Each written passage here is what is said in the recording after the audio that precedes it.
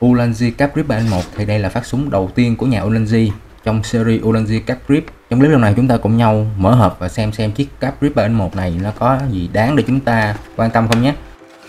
Thì vì đây là một chiếc bán tay cầm chụp ảnh trên điện thoại thì tất nhiên là chúng ta sẽ có phần bán nhô ra để hỗ trợ cho việc cầm nắm tốt hơn.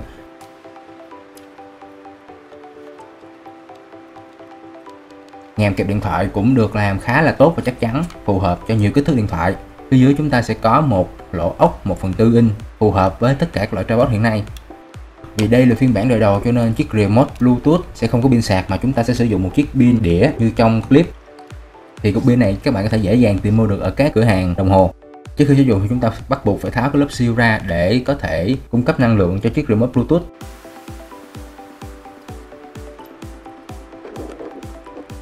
Để có thể kích hoạt chiếc remote Bluetooth thì chúng ta sẽ nhấn giữ phím chụp hình và sau đó khi đèn sáng lên, chúng ta sẽ dò kết nối ở trên điện thoại. Và thế chúng ta đã thể dễ dàng kết nối ờ, chiếc remote Bluetooth này với chiếc điện thoại rồi. Thì với cảm quan của mình thì cái remote Bluetooth này khá là nhạy và sẽ cho chúng ta một cảm giác chụp hình nó khá là vui.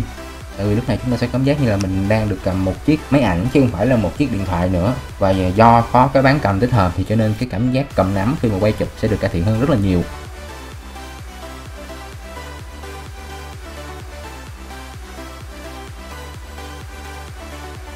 Lỗ ốc một phần tư phía dưới cũng là một công cụ rất là đắc lực để chúng ta có thể gắn lên những chiếc tripod và từ đó chụp hình selfie nhóm hoặc là gắn lên những chiếc gậy selfie để có thể tăng trải nghiệm chụp ảnh của mình lên Chiếc remote Bluetooth này sau khi tích hợp thì cũng sẽ cho chúng ta một tầm hoạt động trong khoảng 10 cho tới 15 mét và cũng khá là nhạy. Mình không hề cảm nhận được sự delay trong quá trình sử dụng chiếc remote Bluetooth này. Tổng kết lại thì Olanzi Cap Grip 3N1 là sản phẩm đầu tiên trong cả dòng series thì mặc dù nó sẽ không có nhiều tính năng nhưng nó cũng là một sản phẩm đáng để trải nghiệm.